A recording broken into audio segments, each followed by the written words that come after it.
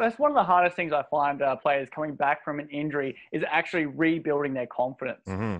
And any performance, like my whole philosophy is that I want to make players confident, and that that that is straight from the start.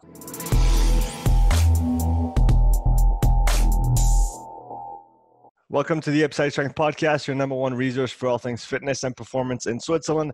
Today, I'm lucky to chat with Patrick Searson, ex rugby player turned personal trainer and strength coach.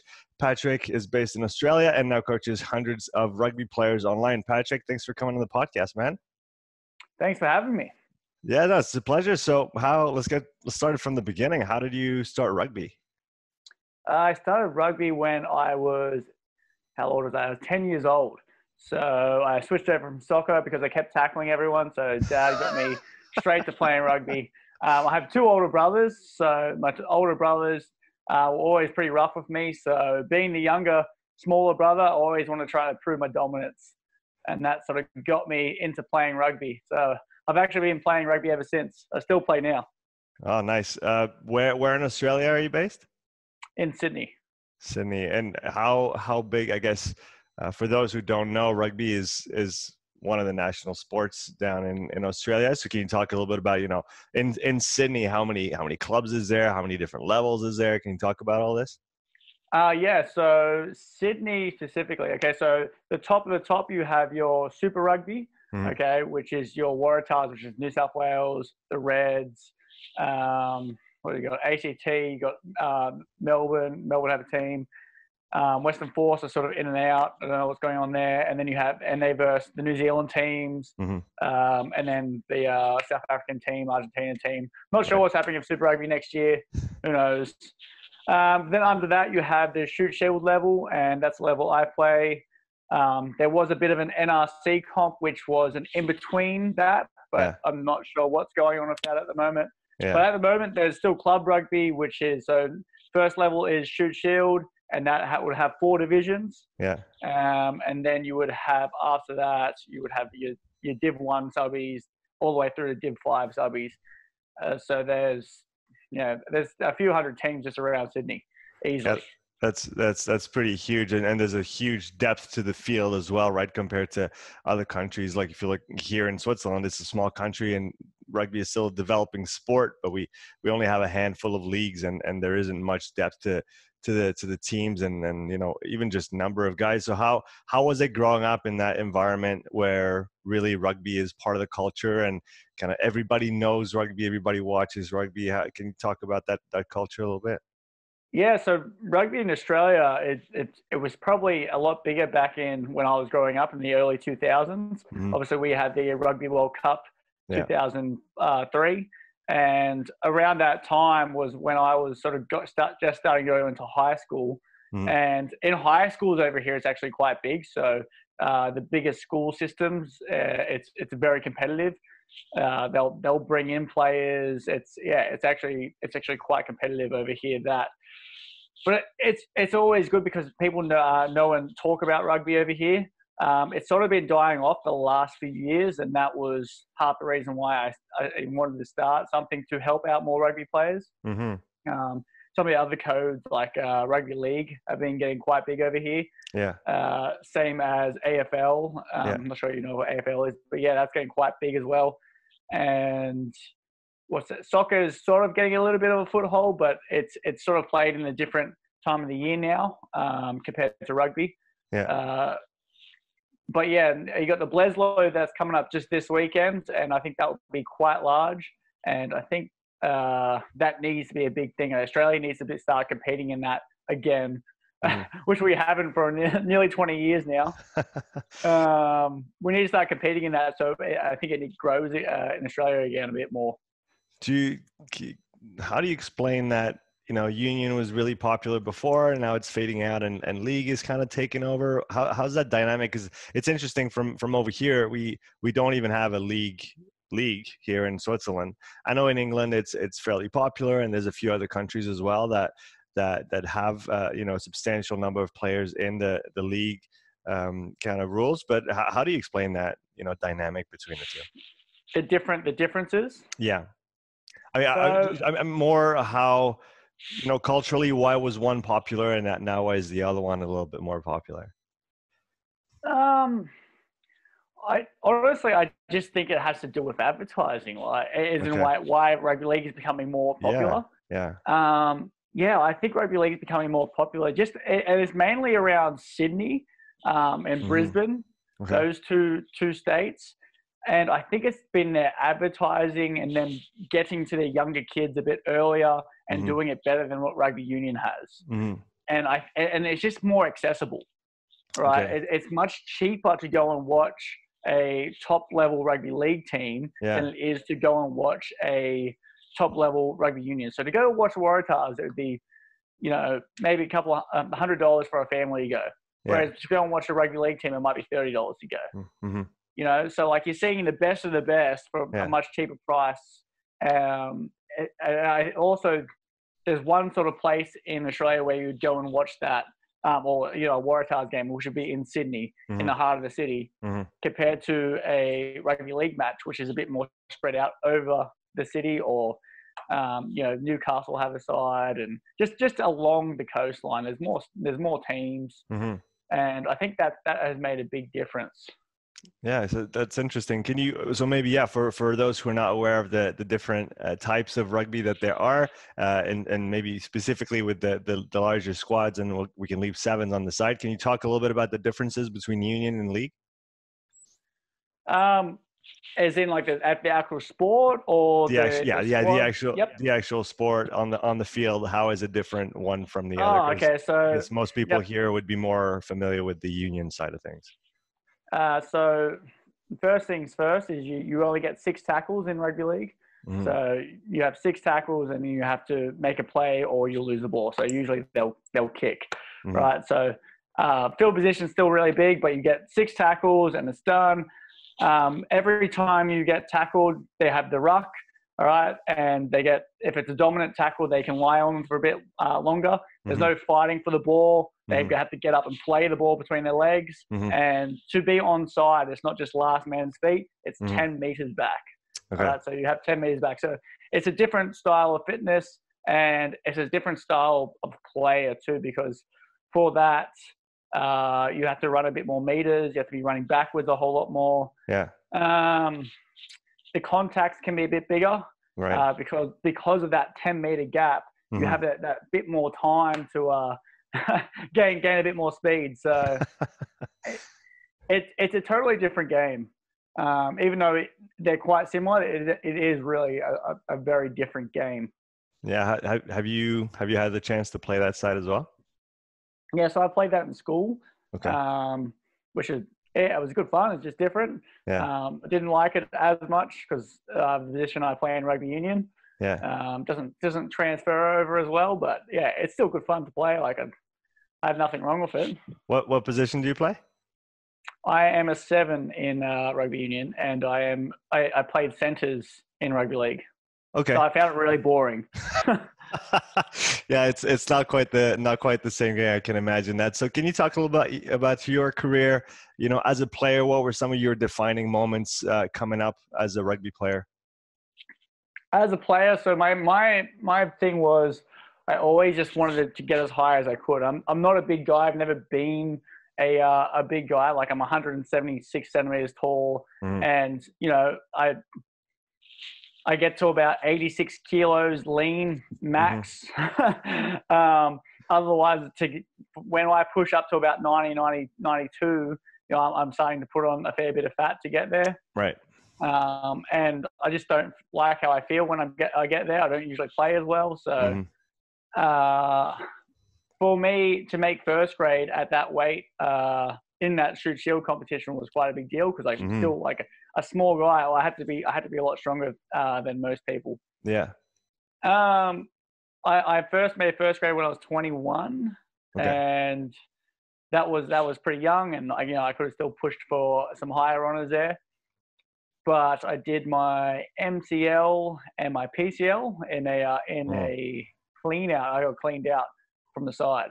Right. And then that that took me that took that was near the start of the season. It took me the whole season to pretty much come back, mm-hmm. and I just totally shot my confidence for pilfering the ball, which was like my thing. Okay. Um, being a pest. So. Right. Did you? Yeah. So then, have you been able to, to get that back? That you know that, yeah, that confidence yeah, yeah. In, in your game? Yeah. Yeah. So that was, that was probably one of the hardest things. I I uh, went away. I came back. Um, I had to, I had to think I had like six months off um, okay. after that, and I came back came back stronger. Put a whole lot of work in. Came back and uh, remade a first grade team, and we actually had quite a good side. So that was we didn't win the comp, but you know for the team I play in, which hasn't been a notoriously a strong team for the last mm-hmm. 20 odd years, and I've got a, there's a few reasons behind that, but um, it's a, it's the club I was I grew up with, so it's a club I want to help grow. Um, yeah. And we actually had quite a good team when I was playing first grade then. So, what? So one of the things you do um, is in your coaching with with the other rugby players that you work with is is injury prevention. Obviously, as a as a strength and conditioning coach. So, can you talk a little bit about that? more the recovery like the mental side of a recovery from an injury i think it's it's a very important part and we don't talk about it as much as the actual rehab process you know physical rehab process. So can you dive a little bit into that? Maybe talking about your experience first uh, coming back from that nasty injury how you get, got over that fear of you know getting back on the pitch and, and playing full strength again and how you now help uh, your players your athletes to, to gain that confidence back even after a, a bad injury sometimes yeah, definitely. That's um, that's that's one of the hardest things I find uh, players coming back from an injury is actually rebuilding their confidence. Mm-hmm. And any performance, like my whole philosophy, is that I want to make players confident, and that that that is straight from the start. So yes, right. I want to make them strong, but what is the end goal? Is I really want to make them confident in their own ability because when people are confident, even if they haven't done strength training or they haven't done any prep, they just come in with that confidence, they play well. And so that's my whole thing. And when you get an injury and they just wipe away that confidence, mm-hmm. it, it is a, it's a really hard thing to come back from. Like it's a painful, it's a soul searching um, place.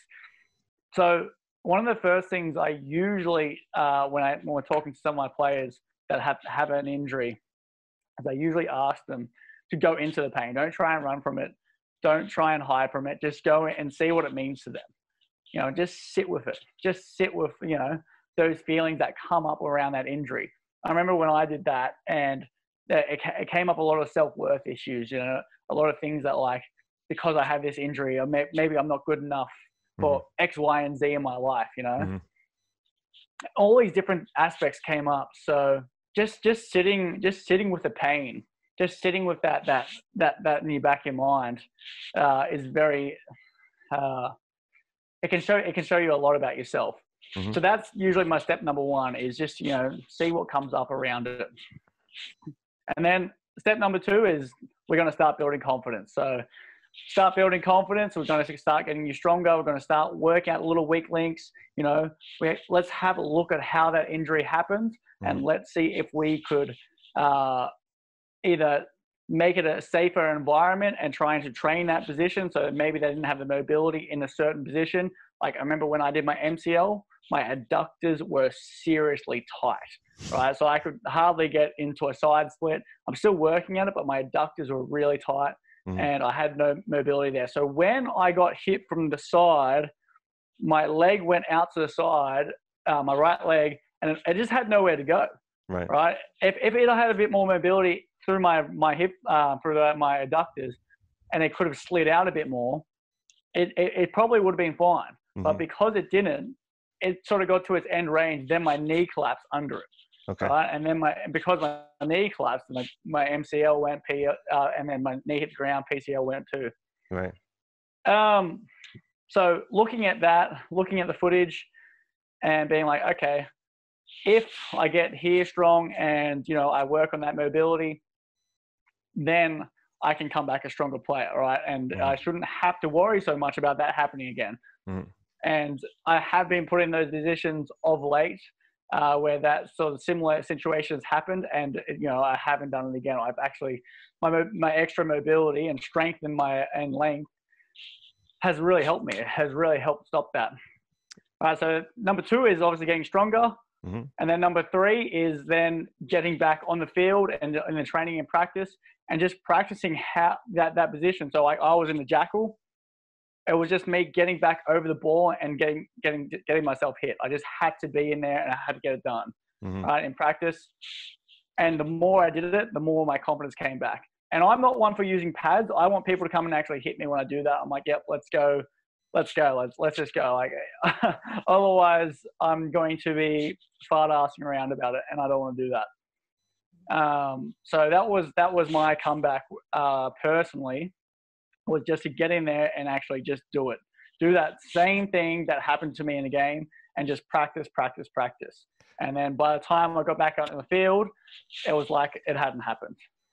Yeah, I think it's um, it's such an important point that you bring up to put yourself in the position where you get injured. You know, you you got you got injured, you know, trying to to uh, trying to jackal a ball, but for someone getting injured during a tackle or you know doing a tackle, um, it's so important to get back into that movement uh, and maybe not you know from day one full speed again but you know start back on your knees get yeah. get someone to walk into you and and then just kind of build it back up like you said to build that you know that mental strength as well that confidence to to be back in those positions and not fear because the worst thing you can do is get back on the field of play and be ready physically but then mentally still not quite being there and still being afraid of putting yourself in that position or you know like being afraid of sprinting if you had an, a hamstring injury it's gonna it's gonna hamper your whole game no, 100%. Like that's, and, and just this year, I've had a problem with my AC. I took a big hit on my right AC, mm-hmm. and it's it, it uh, had a grade two uh, AC injury, and like it was the same thing. What I did, I, I started in a push up push up position on my knees, and I just mm-hmm. got better at falling onto my side because that was where I couldn't take that weight again. Right. Um, even though I did it in a tackle, uh, no, sorry, I got when I got tackled, it was a shoulder on my shoulder. I didn't have the confidence to actually fall back on my shoulders. All I did was start on my knees and just fall onto my shoulder and feel, okay, this is good. I can go again. Mm-hmm. And then, um, and then, yeah. how how do you structure? And then, we, so we talked about the mental aspect of recovering from an injury. How do you structure? And it, it obviously depends on what injury we're talking about. There's there's many out there that unfortunately we can get. But how do you structure the the return to play process? Um, you know, coming back from an injury, getting stronger again, hitting the gym. What are for you kind of the? How do you break it down uh, in the strength and conditioning realm? Uh, the main components that you want to uh, focus on as somebody's coming back from an injury. Um, well, I guess it depends. It, obviously, yeah, it really does depend on the injury. Mm. It depends, and then I'll, I'll, I'll tend to work with the physio. So they'll mm. obviously go see a physio, and then I'll be working with them, seeing what they think is going to help it, what's going to fix it fastest, and then I'll be then assessing them and assessing their range, where they feel pain, where they don't feel pain, where we can work. Mm. All right, and then I'm going to start working in a range where they don't feel pain around that area and start building up and down from that area. All right. And right. then start building that area where, where, wherever it may be. So, say it's a knee um, and we need to come back from a knee injury, one of the most common things, or a hamstring. It's working with the physios. It's then looking at, okay, what movements can you do that we can build up around that area? Mm. All right. So, calves, tibs, quads, hamstrings, glutes, Mm-hmm. Um, what can you do that we can start building this back up, and and then already start building that confidence back up. So one of my first things, like for a knee injury, would be starting to walk backwards. Right, most people after a knee injury can start walking backwards. They can start building up the quads, glutes um, straight away, and mm-hmm. start giving that stability back. And then most people will be able to do calves nearly straight away. Mm-hmm. So once again, we're bringing that blood flow directly near that area. Yeah, so not not holding back uh, more than necessary after the injury, and really try to get active, uh, you know, soon after. Obviously, as as long as uh, as it doesn't produce excessive pain, and and that you know, like you said, checking with the physio that it's okay. But movement is key here. Yeah, definitely, movement's key. Like if if if you're going to sit around, if you're going to sit around and not do anything, then it's going to atrophy, and we're not, we're not really helping it out. And you know, blood is everything. blood brings the nutrients. Blood brings life. So we need to get that blood back pumping around that, that area, especially if we want it to heal faster. Yeah. Um, so so definitely the movement aspect of our recovery is is uh, is very important in my protocols. Mm, maybe to backpedal a little bit, but can you talk a little bit about how you transitioned to coaching from being a rugby player, and why why did you make that transition, and then how did it happen? Um, so I was about 18 at the time, and I just finished school, and I knew I just I wanted to keep playing rugby. I wanted to push that. My brother was a personal trainer, which mm-hmm. made it a bit easier. Um, I saw him training a lot of people, um, and so I, I, thought, okay, why, why don't I try doing some coaching? You know, I'm always in the gym anyway. I started working out with him when I was about 15, mm-hmm. um, doing boot camps and all, all right. these other things. I was up at 5 a.m. Um, every morning doing doing these boot camps. Like I just I loved being fit. I loved working out. Um, and then yeah, when I started hitting the gym, I, I loved it. Like I, I, I was obsessed. I, I, and all I wanted to do was learn about it. You know, I would be reading for hours mm. on on different ways to work out what what it would do. So it just made sense to me that I would go and do that, and then I could help other people with it while I was playing rugby. It just seemed to go hand in hand. What, um, what, what are some of the things that that you that you thought you knew maybe about physical preparation in the realm of rugby early on when you were reading when you were young you know working out that you've kind of changed your mind about since then oh definitely this is probably the biggest one i thought you just had to lift heavy i just thought you had to lift heavy weights bench press squat deadlift i thought that was like more of a better powerlifting thing and mm-hmm. I definitely thought the bigger bench press I had, the uh, the, the better I would play. But right, quite yeah, not not quite true. And so, not what's your true. what's your take on on that now? What where do you stand in uh, relative to you know lifting heavy and and kind of the big three, more the powerlifting side of things?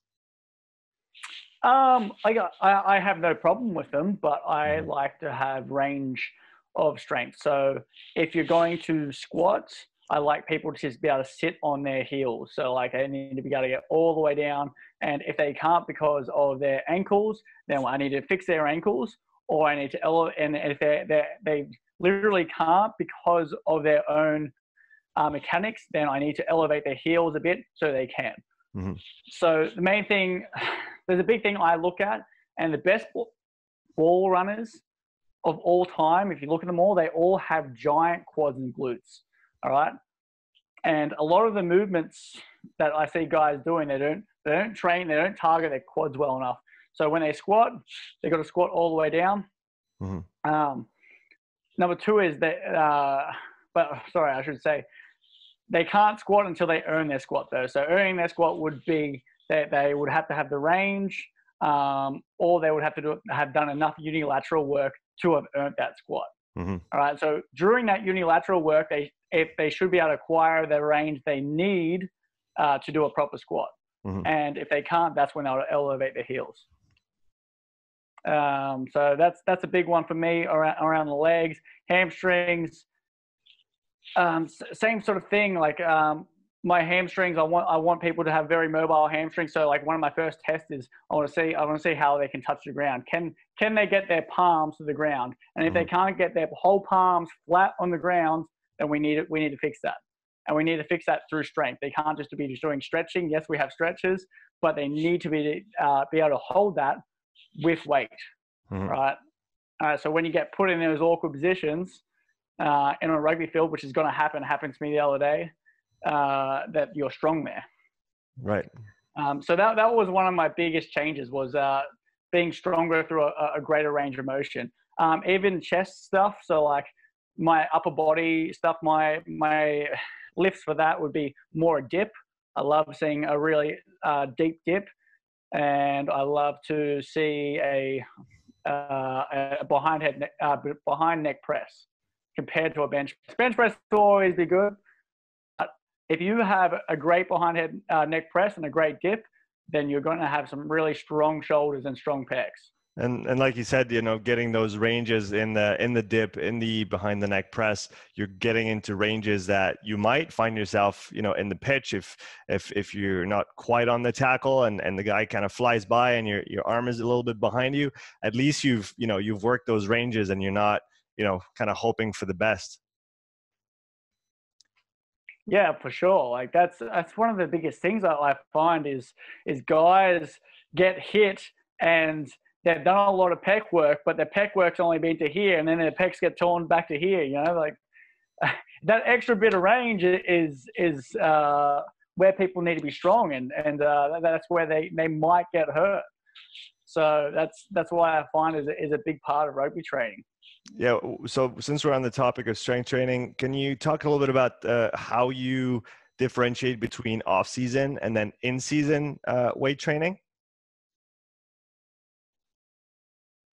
It depends on the player. So um, it depends on the goal of the person too. Mm-hmm. Uh, for me, uh, me personally, I do. I, I at this year I just mainly focused on keeping myself on on the field because I just kept having these little niggles like my wrist, uh, my back. I just kept getting put in weird positions this year on the field. So for me, it was just my in season has been literally make sure I feel good by Saturday.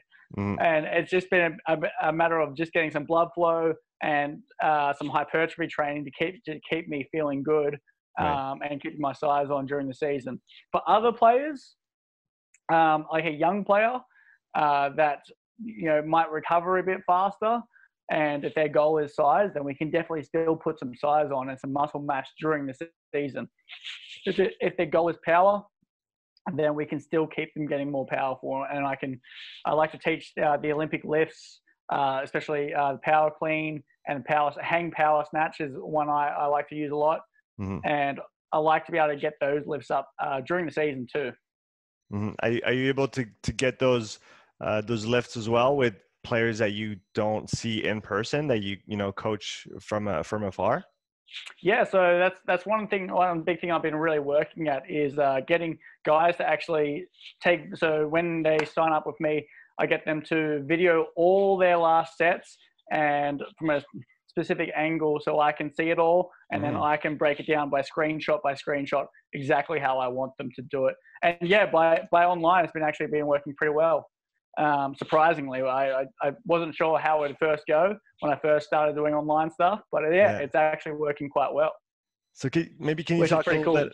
Can you yeah, like, can you talk a little bit about your process when it comes to coaching online? What are what are the key things that you've put in place to make sure that you can follow up with your guys to make sure that they you know stick to the program, do the work, uh, you get the feedback that you need to coach them. So talk about this whole online coaching process that, like you said, is not always easy, but uh, when you figure out a good system, it, it works quite well. Yeah, definitely. So I use Train Heroic, which is uh, really simple to use. It shows me when all my athletes have logged a session. Um, it's very easy for me to put the videos in um, of each exercise, how I want it performed. I'm a bit of a uh, technique, uh, a bit, yeah, I'm a, I'm a, bit harsh on technique. I like I like to have really good technique, mm-hmm. and yeah, I, I, really do believe that uh, shit reps will make shit results, and good reps will make good results. So I'm, I'm very harsh on that, and I don't mind, especially with young guys. Young guys, especially, just they just want to lift some tin. I get it. Like they just want to lift heavy, and I can be a bit harsh on them sometimes, but they can really respect that too. That I come back and I and, and I stick to my guns of you know what I want from them, what I want to see. Mm-hmm. Okay, so the first thing I do with most people is I, I do a quick. I get them to send me some videos of uh, how they move, and the first program is always laying a base because I haven't met anyone yet who have who's had a really strong solid base from ankles to knees, quads, hips. You know, they've, they've got these big weak links where we can get huge gains straight away. Mm-hmm. Um, your rotator cuffs, your scap work. I, I, straight away, if I can lay a better foundation on 99% of athletes, they will come back stronger and they'll feel better. All their other lifts will go up around it.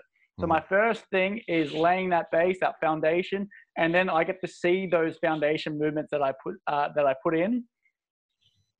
And after I've seen that, then I can sort of see where they're at, and I can I, and and I can judge from there. Okay, you will be you'll do better if you go to like a, a more power based program now, or this person will be better staying on a uh, more uh, more a base building program. Mm-hmm and from there they have to send me their via their videos of their last set and that's that, that's what's important is me actually seeing them move and then critiquing them and letting them know. And then they have that feedback and they have the feedback of looking themselves. So then they're knowing what they're looking at. Um, I think that's really important. And me explaining, you know, what I want from each exercise and then having a target for each exercise. Mm-hmm. So when we have these targets, then we can start, you know, working towards something. And I find that really important uh, for, for players, for, for anyone, you know, when you have that target and to, to push towards. And then I have a bit of a community going uh, where I, I want everyone sort of pushing each other to go mm-hmm. after these targets. You know, I want that bit of a competition. Uh, can you talk a little bit? About something you, you mentioned that that popped out for me is you want them to know what to look for when they're doing their lifts and maybe even looking at their own videos. So building in almost uh, a little bit of uh, autonomy from your athletes. So how how do you can you, we push that a little bit farther? How do you uh, try to bring that to your players so that you know they're uh, maybe not fully self-sufficient, but at least they have a certain level of uh, you know, they, they know what to look for. They know how to think. They know how to adjust maybe from one day to the next if they're not feeling great. All those little details that we don't think about, you know, because you, you just think, oh, I just need a program. But the, the program is the easy part. Applying mm. the program to everyday life is actually the hard part. So how do you convey that to your athletes?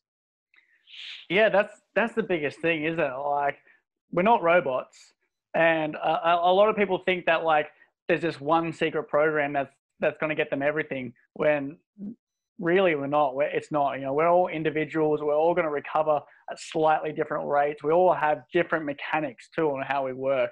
Mm-hmm. so my biggest thing is trying you know uh, the quote is uh, you can you can only lead a horse to water right? But i want to make right. that, that that horse thirsty i want i want them to want to know you know how can they how can they improve themselves how can they become better so I guess it starts in the beginning when they first do sign up um, with me is was a big goal setting thing. All right, so I, I, get them straight away to write down all their goals. You know, what are they? Who who do they want to become? Who do they want to be in one year's time? All right, and once we have that picture, who do you want to be in one year's time?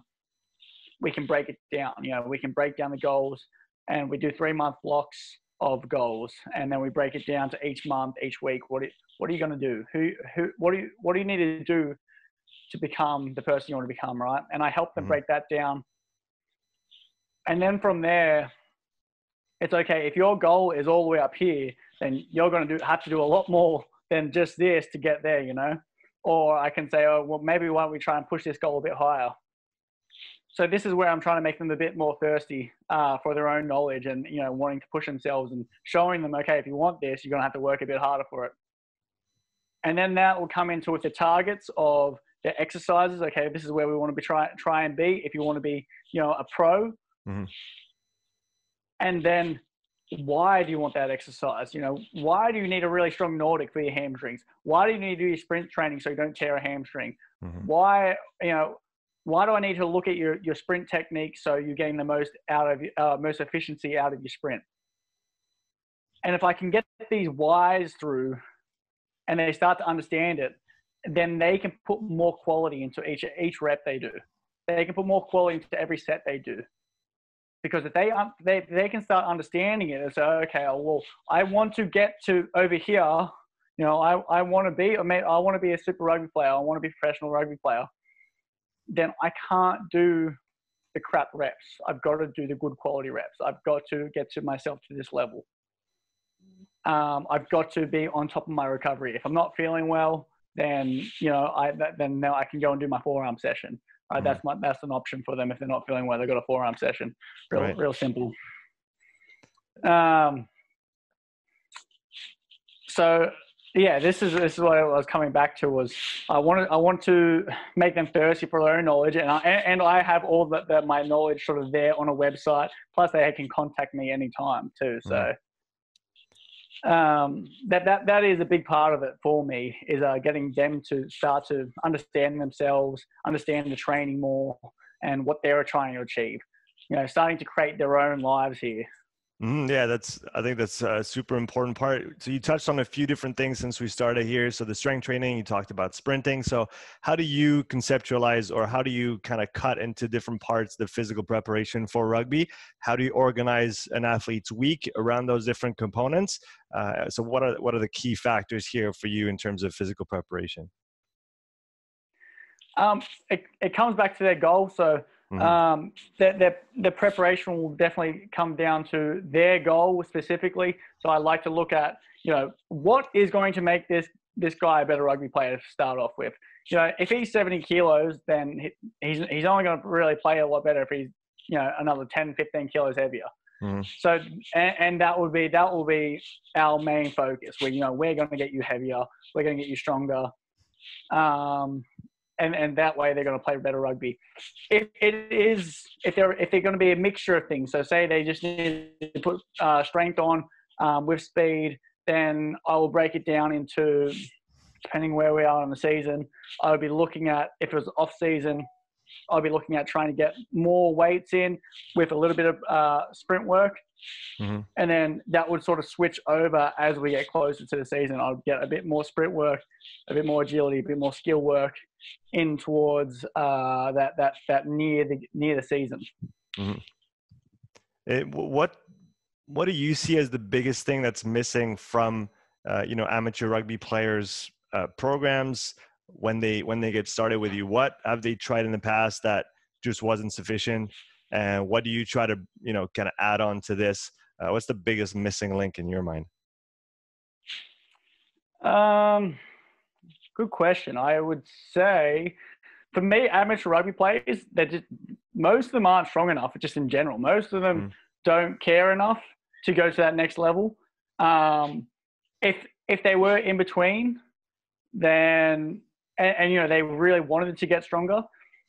One of the biggest problems I actually that come to, that people come to me with is shin splints. Oh. Okay. And so like that's such a simple fix. Like it really is a simple fix of working the tibialis anterior properly and getting enough calf work in and then looking at how they're landing and fixing their running technique a little bit. And usually that's fixed within a month. Mm-hmm. So amateur rugby players who get a lot out of just fixing their own techniques. So, so if, they, if they wanted to be fitter, looking at how they're breathing, how they're moving, um, and making sure they're getting strong enough. Uh, but, but just in general, most amateur rugby players are just not doing enough strength training. They're just too weak. And then, how do you uh, how do you balance that out with you know uh, busy personal schedules if somebody maybe has a has a family already uh, how do you usually you know uh, play play that card? Because we we all know that recovery is is such a big piece when it comes to you know you got to do more work well you got to recover more as well. Uh, but then if you're lacking sleep for you know work reasons, professional reasons, personal reasons. Uh, I see you have the doggy there in the in the room. Yeah, I just, she just came in. My sister's husky just came in. she she was just supposed to be part of the show, man. yeah, she, she just let herself in the door. The door was closed. let herself in the door. nice. Well, well, well, we'll do we'll do it. We'll do with her. That's that's yeah, totally fine. Uh, she, so she is now she is now in it. She's now course. part of the podcast. Exactly. What's yeah, her yeah. name? What's her name? So she, we can uh, introduce you properly. yeah, Leah. Come here. Leah. She gonna get up. Yeah, Leah. No, she's not gonna get up. She's gonna lay down. I actually have my dog next to me too. So she came in to join us. My dog's super quiet. That's Nala. Um, yeah. Yeah. So talk about that, the recovery aspect, and how you might help someone manage a busy personal and professional schedule around, uh, you know, training for rugby.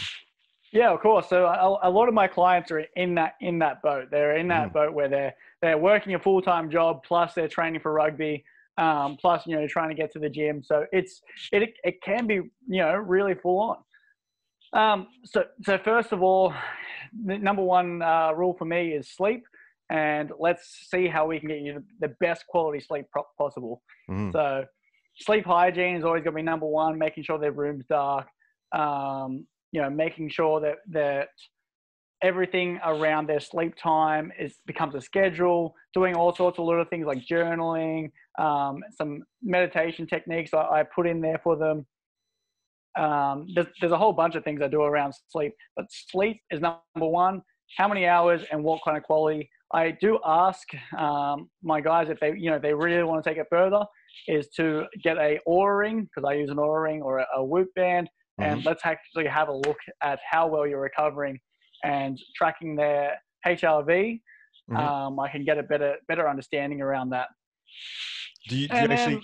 do you actually sorry to cut you off get, did you do you actually get them to for those who do track hrv do you get them to auto regulate the training in some way uh, given their their scores or is it just something that you use for kind of information purposes to so that the athlete knows on that day uh, how they might feel when they go into training um, i just give them a bit of free reign there so mm.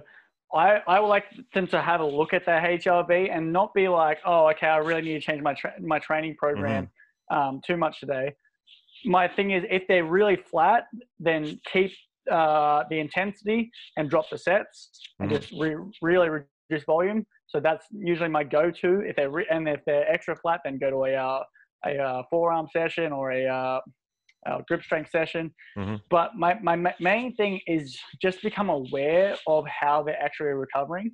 And I mm-hmm. think that makes a uh, really big difference. Is just that that level of awareness. Oh, okay, I need to sleep a bit better uh, if if I'm going to get my best quality recovery.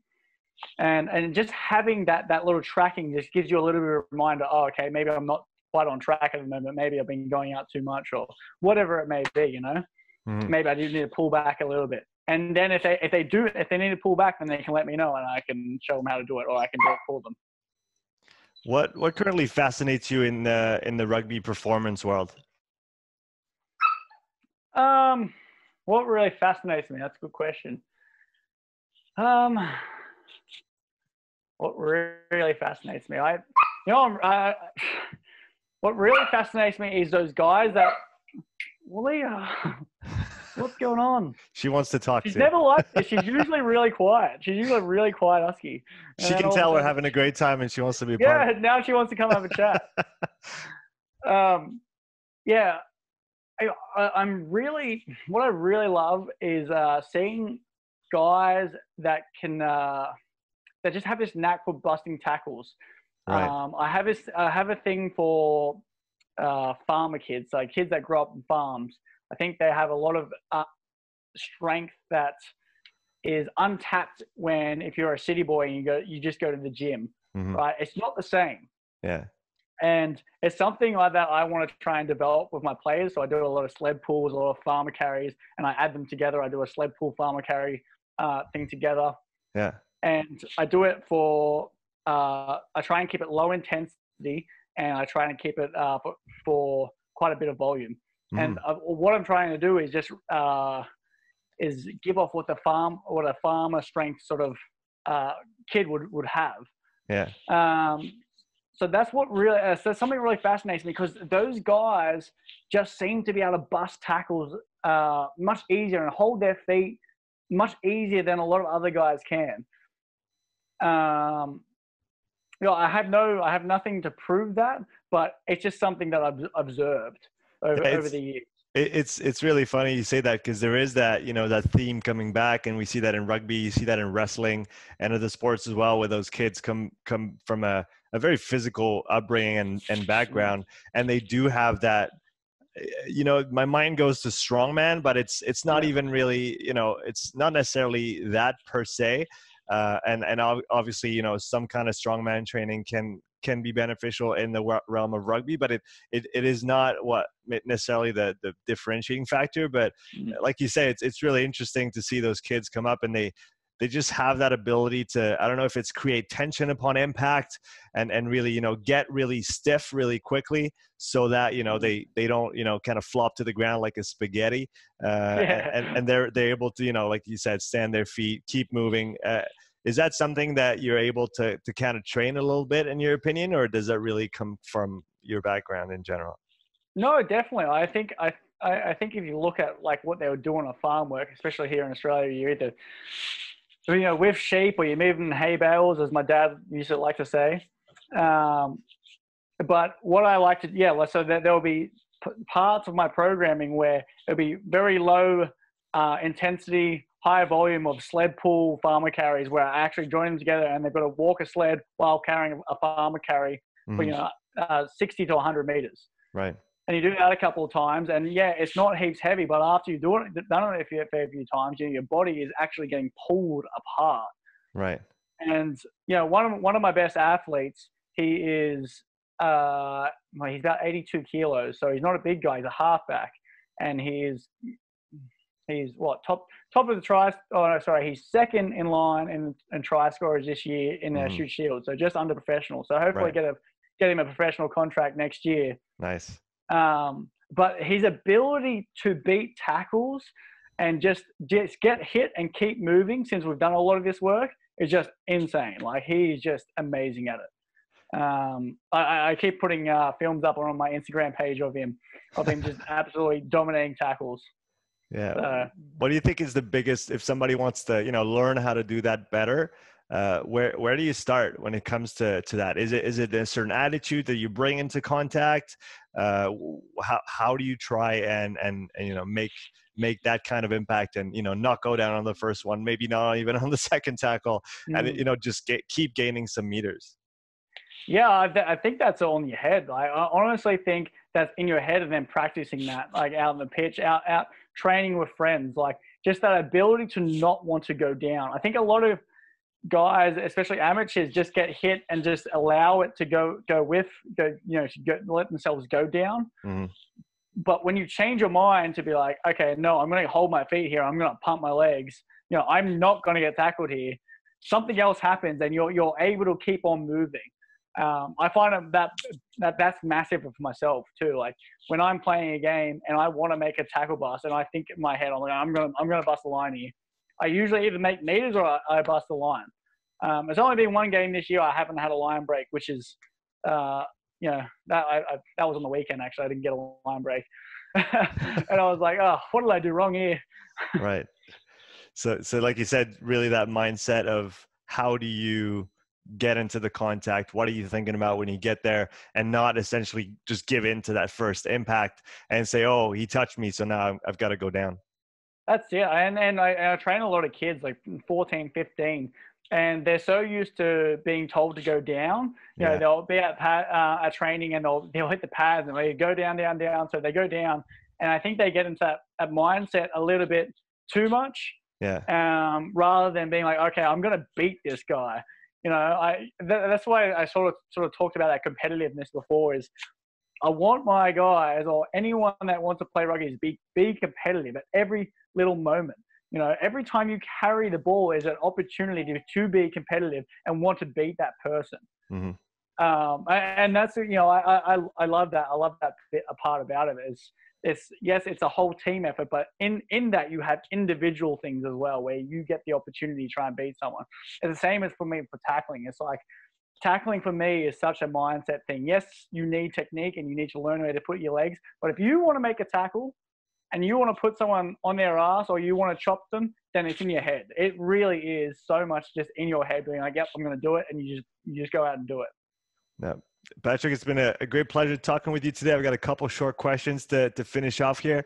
What would be one piece of advice for amateur players who want to take their game to the next level? I would say go and get yourself a coach. Um, you, you, honestly, I have a coach for everything in my life for business, for my own coaching, for my own strength conditioning. I've had coaches. If you want to progress faster and actually be guided, go and get yourself a proper coach. Like mm-hmm. I'm not saying for this, from you need to go see me. You can go and see any coach that has coached people before for what you want to do, and make sure they're doing something that for you want to do. You know, mm-hmm. if you if you say you wanted a business coach, go and make sure that business coach has made millions of dollars if that's what you want to do with business. Same as rugby. If you want to go and play rugby, then go and get yourself a rugby coach who knows how to get you uh, get you to that level do you do you usually recommend any books for for people to read? Is that is that something that you try to, yeah. to bring to your athletes?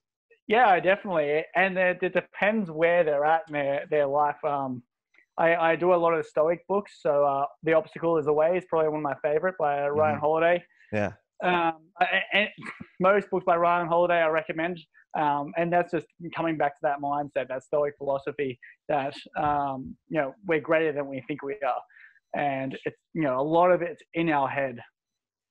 Um, so a lot of a lot of Stoic books I like to recommend to my clients is and just about the mindset.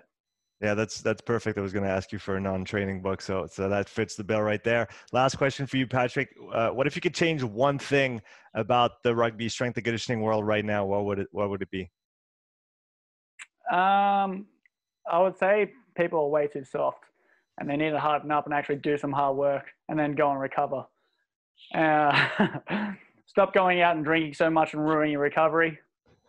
There's two things. no, I, I, like it. That, that, makes a lot of sense. Patrick, it's been a pleasure talking with you today. So, for all the, the listeners that are interested in learning more about what you do and what you offer as a service for rugby athletes, where can they find you on, on social? Uh, on social media, you got Rugby Development Coach on Instagram and on Facebook. And then my, rug, uh, my website is therugbydc.com. Fantastic, man. I'll link those in the comments for all the people watching and listening. It's been a pleasure having you today. Thank you very much. Thanks for having me. All right. Take care, Patrick. All right. See you later.